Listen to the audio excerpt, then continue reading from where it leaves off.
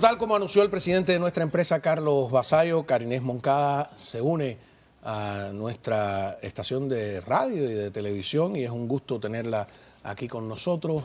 Bienvenida, Carinés. Muchas gracias, Juan. ¿Cómo estás? El destino nos une, como dije ayer, ¿no? Nos vuelve a unir. Nos vuelve a unir, qué bueno. Feliz de estar aquí en mi nueva casa de América Radio, América TV y por supuesto agradecida, como lo dije ayer, con Carlos Basayo y con toda la familia, con todos los que me han dado la bienvenida y nos hemos encontrado con muchas caras conocidas también de tantos años, ¿no? al menos yo, 26 años de carrera en, los medios de comunicación. Aquí en Miami, ¿no? Aquí en Miami, sí. Eh, ¿Eres venezolana? Venezolana, padres colombianos. Ah, qué interesante. Sí, eh, pero mi carrera toda acá, ¿no? Ah, eh, los, el exilio cubano fue que me abrió las puertas.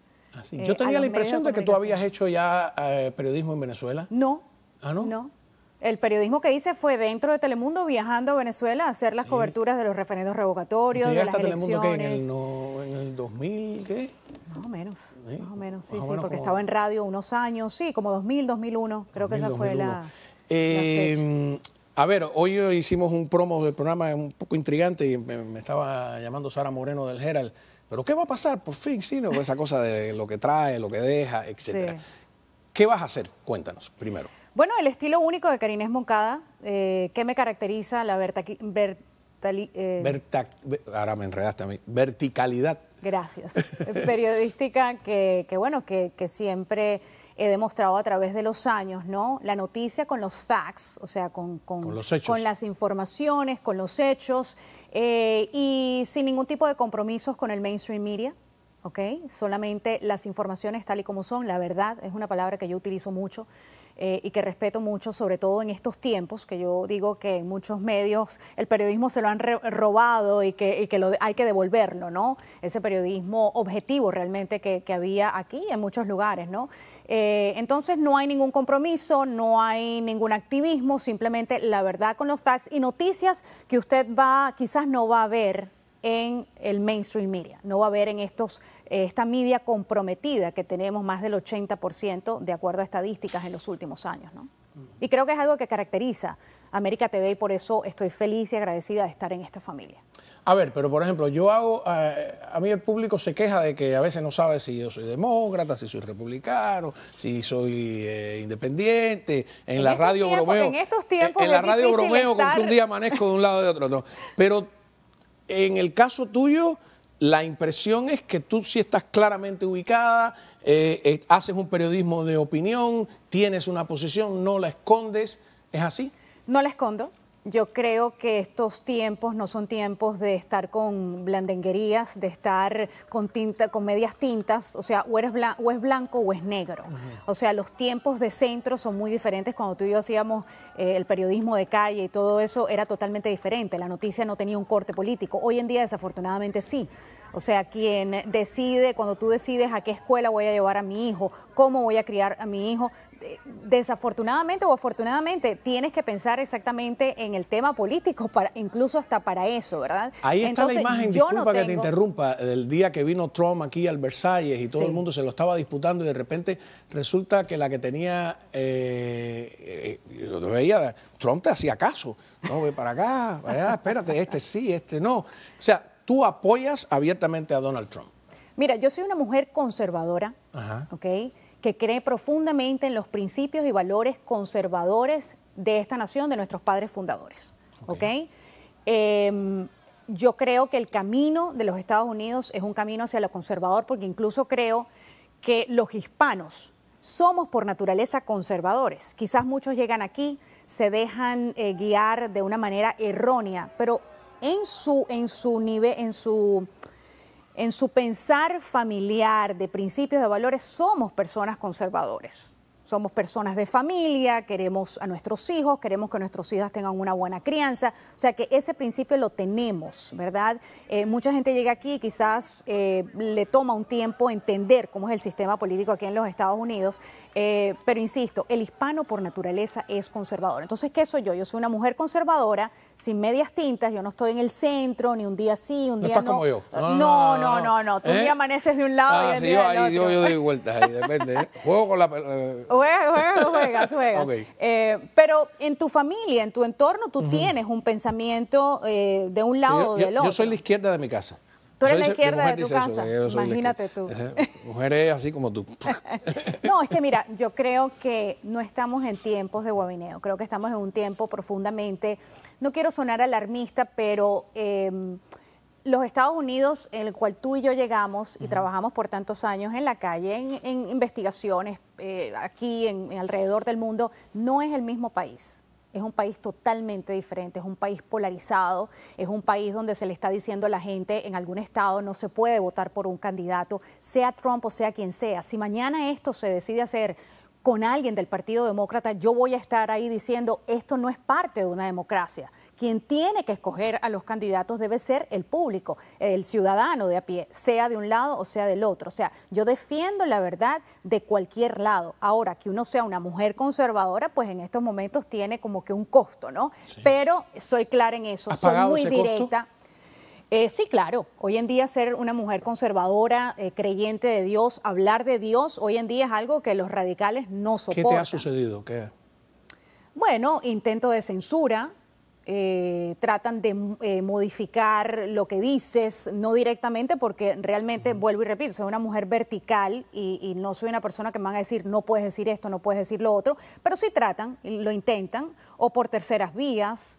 Eh, pero estamos viviendo tiempos donde el periodismo ha cambiado muchísimo. O sea, antes sí existía un periodismo objetivo y hoy en día vemos un periodismo que aunque estés incluso en algunos lugares eh, en otros medios de comunicación, ves una noticia local, siempre hay un toque de inyectar ese tono político que no existía cuando yo hacía reportería local, en no hablábamos de política, eso no era un tema a tratar. O sea, el periodismo como tal o la comunicación ha cambiado totalmente. Claro, no, y además...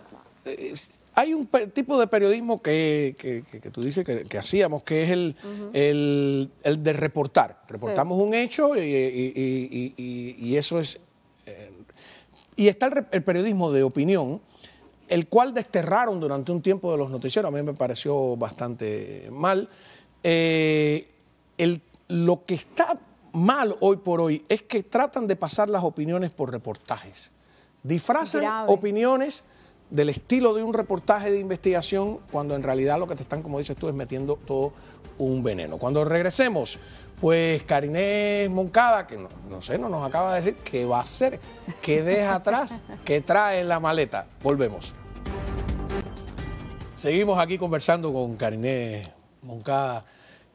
Eh, yo te conocí que muy jovencita, eras una niña en la, cubanísima, todavía era la cubanísima, ¿no? Y tú estabas trabajando con los fonomemecos en la radio y también ahí. Eh, Haciendo el tránsito. Pero vamos a ver algunas fotos, porque estamos hablando de una periodista que tiene una larga historia y una carrera eh, importante. Eh, aquí te vemos dónde. Haití terremoto de Haití en el 2010 con Rafael Torrens, que fue camarógrafo tour. Eh, Superman le decíamos. Superman. Superman, ¿te acuerdas? Superman vive ahora en España. Gran camarógrafo, no, viajaba siempre con él, eh, viajé mucho a Venezuela. Eh, esa, esa cobertura en Haití ganó un Emmy, al igual que las coberturas en Venezuela de diferentes En Venezuela coincidimos que yo estaba tratando de, entrevistar a Rosales, el candidato contra... Y fuiste tú quien hizo un reportaje maravilloso. Tú estabas en, Caracas, yo estaba en Maracaibo, viajé a Maracaibo. De hecho, yo antes de eso yo hacía los reportajes light, ¿no? De una persona que está comenzando. Ese, es tu primer reportaje. Ese es mi primer ¿eh? reportaje, pero fíjate lo que pasa, o sea, en ese momento cuando tú dices, yo quiero hacer las noticias políticas de Venezuela, por supuesto que hay, habían figuras como tú, o sea, figuras que tenían años, que ya estaban viajando y haciendo, eh, y mi jefa me dice, si tú, nuestra jefa me dice, si tú consigues la carta de invitación de, de Rosales, vas. Y yo la conseguí pero faltaban como dos o tres días. Y ella me dijo, yo ahorita no puedo entrar en corporación. Sí, me sorprendí, decía, Yo agarré literalmente un tarjetazo, pagué el viaje, pagué satélite, pagué camarógrafo. Tú no tienes deseo de hacer las cosas, ¿no? Pagué todo y, nada. Pero tuviste la exclusiva. Y tuve la exclusiva y lo hice. Y desde ese momento pues ya se vio Qué maravilla, ¿no? Que, tenía esa intención de, hacer política y no solamente... Se vio la fibra, la fibra periodística. Exactamente, pero bueno, esas son las cosas que tenemos que hacer los periodistas. Eso fue en Venezuela. Eso en Venezuela, claro. 23 de enero. Y ahí está también Rafael Torrens. Ahí está Rafael Torrens. Sí, veo que viajaste. Yo iba a Venezuela con Israel También, gran camarógrafo. Aunque con Torren coincidí también ahí. ¿Dónde estás ahí? Eso es en Maracaibo, Barquisimeto. Eso es la campaña de Capriles. Ah. Estuvimos en tres estados, en, Zulia, en, estuvimos en Barquisimeto, en otro, en otro estado también, tres estados que estuvimos acompañando al candidato en aquel entonces.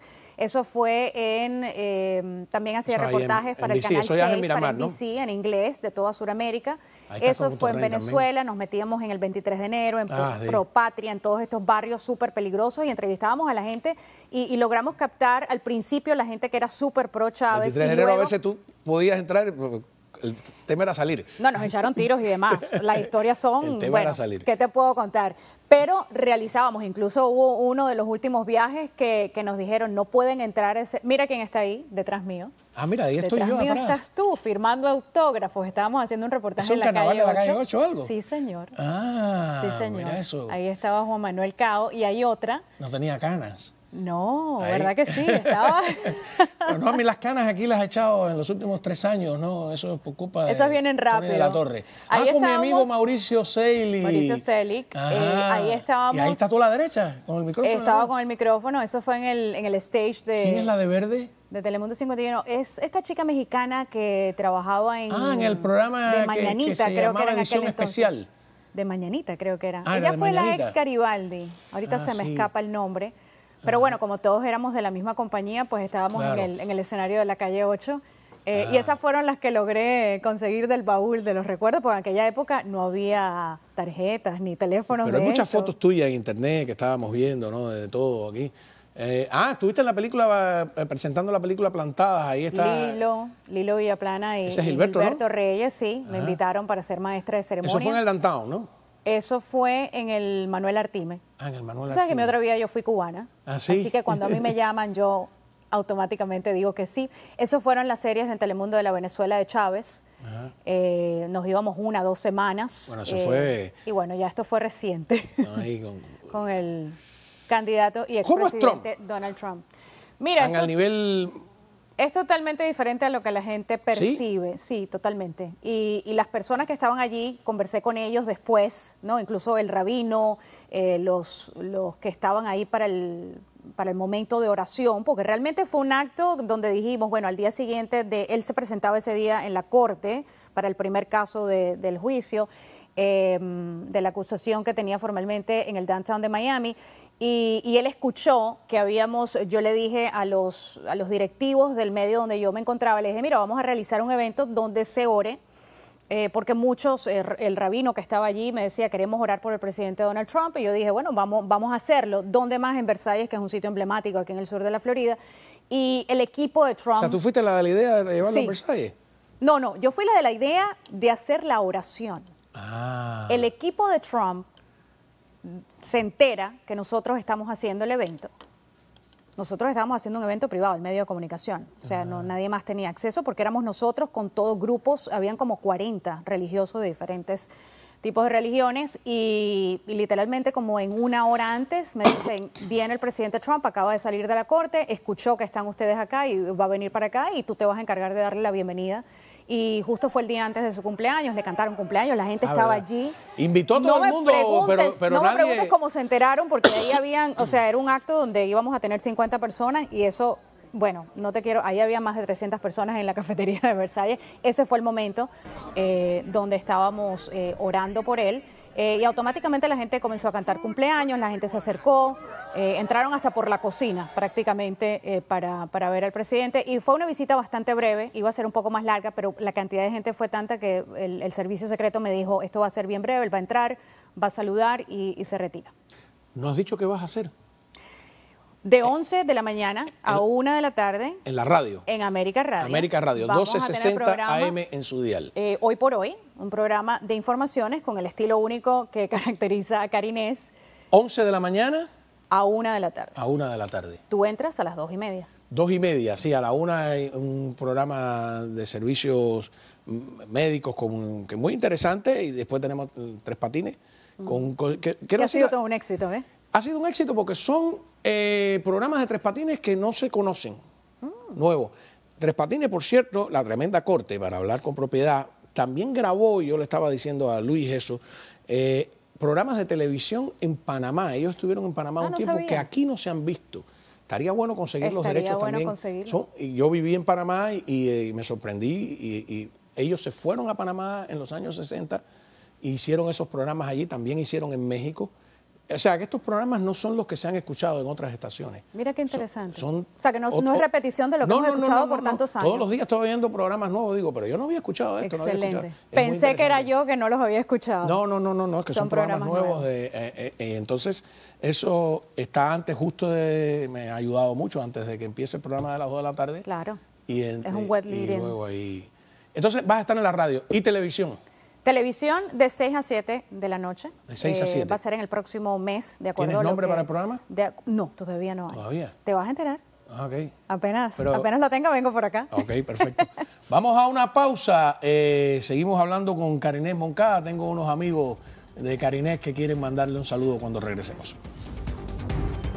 Muy bien, cerrando con Carinés Moncada, que empieza con nosotros en la radio y la televisión. Hoy estuvieron en América Radio Hacía mucho tiempo que no se reunían los fonomemecos y el público le fascinó. Y bueno, cuando vieron que estabas aquí, decidieron, porque trabajaron juntos, ¿no? Trabajamos juntos en la época de oro, primer lugar por años. ¿En la eh, radio? Estuve con ellos en la radio, sí, efectivamente. Pues ahí te mandan un saludo, adelante. A ver.